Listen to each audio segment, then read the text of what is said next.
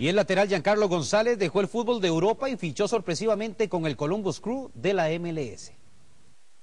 El defensor Giancarlo González sorprendió a todos cuando este viernes se conoció que fichó por el Columbus Crew en el fútbol de los Estados Unidos. Así lo confirmó el equipo en su página web. Inclusive Jairo Arrieta subió esta fotografía de bienvenida en Twitter junto a González y Waylon Francis, convirtiéndose en tres costarricenses que militan en este equipo.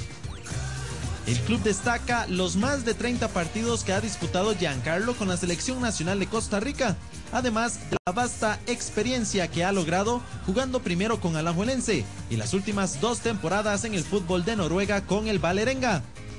A Pipo González lo catalogan como un defensor central prometedor, joven y experimentado, con precisión en la marca personal y grandes cualidades de liderazgo.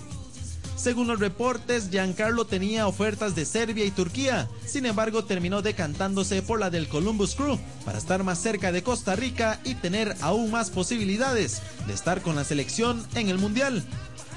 Los términos del contrato aún no han sido revelados, por lo que quedará en veremos conocer por cuánto tiempo estará con el club norteamericano. Mientras tanto, Giancarlo González ya se encuentra de lleno con el grupo en la pretemporada que están realizando en Florida.